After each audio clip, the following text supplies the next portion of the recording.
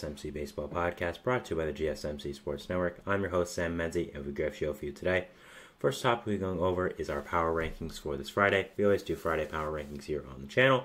So uh, I was going to do that today, of course, and that'll be the first three segments. After that, we'll be going over the Rickwood game last night in Alabama, Giants for Cardinals, and what went on. And then after that, going over some news around the league. I haven't done that little segment in a while, but there was some there was some pretty significant news uh, yesterday that went over just but that wasn't big enough for a full segment by itself. So I just want to talk about them all together. So yeah, uh, before we do all that, I'd like to ask you to please like and follow the show. We get a number of questions from viewers, so to ensure that your question does get read on the air, please use the link gsmcpodcast.net. Really does the show and really does mean a lot. So thank you so much for that.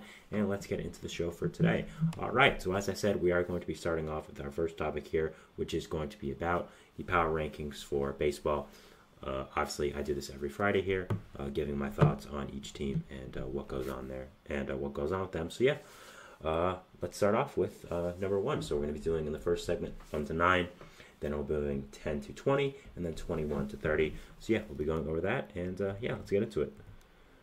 so, first off, at number one, we have a new team here, which is the Baltimore Orioles. So, before this, I had the Yankees at number one for I think maybe two or three weeks in a row, but I did end up changing it up to the Orioles this week. It's always been very close with the Yankees and Orioles. Both these teams are very, very close within each other, and it's always been a decision of which team you're going to put in.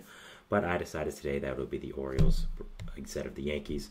Now, the reason I did decide that was because the Orioles did just beat the Yankees in a series in the Bronx. The Orioles won the series two to one, and I thought I, I thought there that was the rationale to have it as you know the Orioles beat the Yankees in their own ballpark as much as it's very close, the Orioles win the, get it for this week, and they are for right now the best team in the MLB.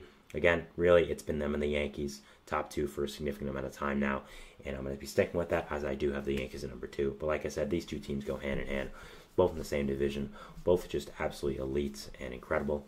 And again, one and two. If you put the Orioles one and the Yankees two, Yankees one, Orioles two, I wouldn't be mad. I'm just putting Orioles one this week because they did just beat the Yankees in a series, so I thought it made the most sense. But again, both these teams are absolutely incredible, and either one at number one would be perfectly fine with me.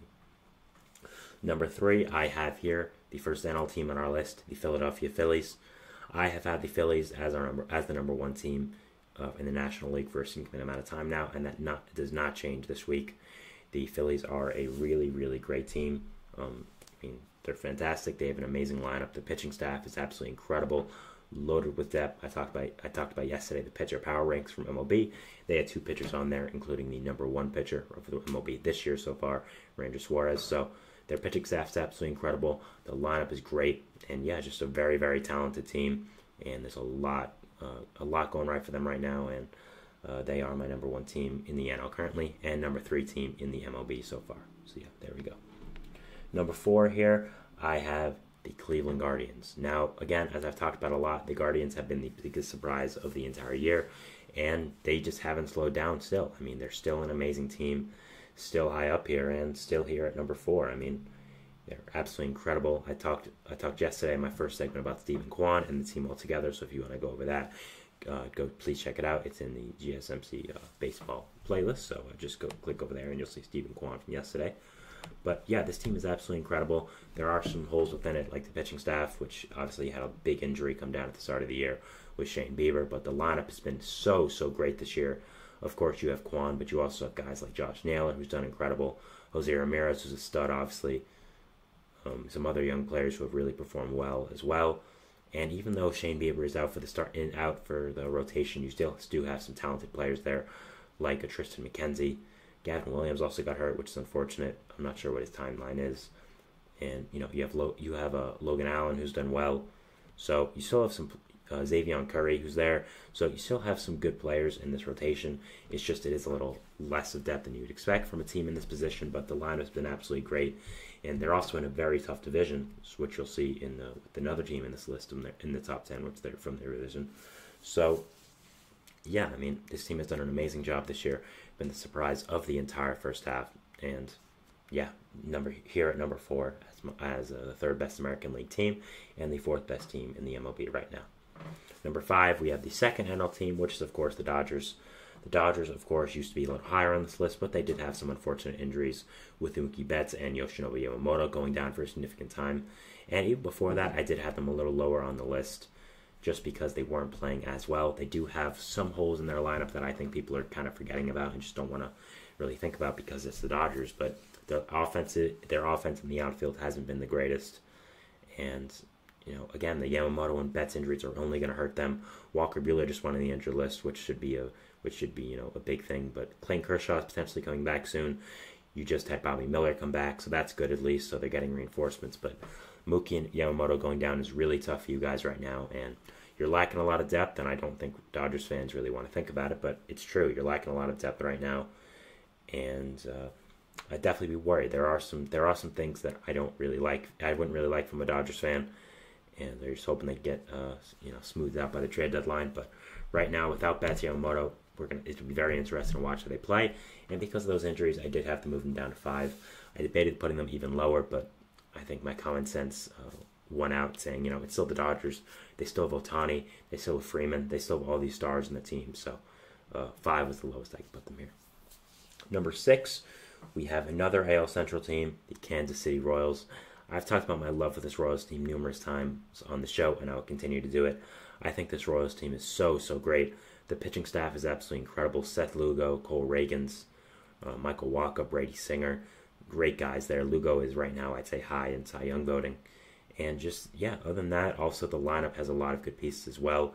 Of course, you have Salvador Perez, who's had an amazing season. Bobby Witt Jr. as a franchise superstar. Some other younger guys who are starting to play better, like Vinny Pasquantino, Maikel Garcia. You also have um, someone I'm forgetting who is escaping my mind right now, but uh, also them. Uh, so MJ Melendez, that's what I was thinking of. Sorry. But yeah, there's a lot of nice pieces on this Royals team, even without the pitching rotation. But man, is that rotation great! And overall, this team is just really, really fantastic. They do have some problems in the bullpen which need to be fixed, but I'm confident that they'll be fixed by the trade deadline. So yeah, if I'm a if I'm a Royals fan, that's really what I'm hoping. But overall, still the team is pretty fantastic, and yeah, a lot to like for a Royals fan. And they should even get better by the trade deadline. It'll be interesting to see if they do go all in. But yeah, this team is really fantastic. Finally breaking out. I mean, they were horrible for so long. It's it's nice that I guess the you know labors of being horrible are finally paying off because you got Bobby Witt Jr.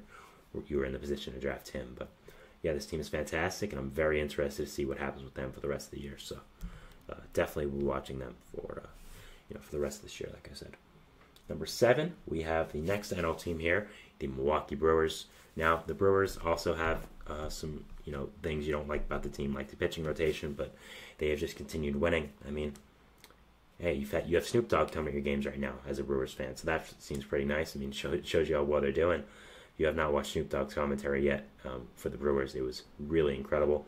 So uh, it, it, was really great. So I, I uh, suggest you go watch it. Just look up Snoop Dogg Brewers. I'm sure you'll find it. But going after that, I mean, this team has a lot of talented young hitters on this team. On the team, Jackson Chourio. You have William Contreras, of course. Veterans like Christian Yelich, Rhys Hoskins, who really hold the lineup together. After that, the bullpen is really great, even without Devin Williams. Abner Uribe is doing a doing a nice job there.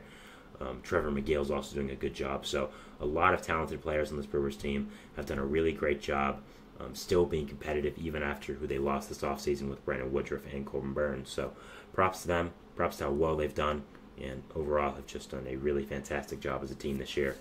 And have just been really, really great. I was not very high on them going into the year, but they have proven me wrong, proven a lot of people wrong, and have done a really, really great job. So good for them.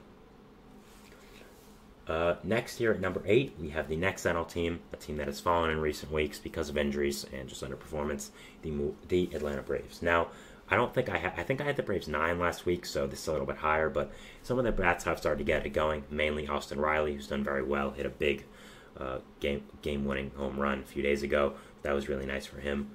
But yeah, still this team they're reeling from the injuries of Acuna and Strider, so that really is going to affect them the rest of the year.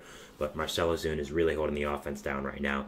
You, of course, have so many talented players like a Matt Olson, like an Austin Riley, like um, an Orlando Arcia, and Ozzy Albies. Um, Adam Duvall solid.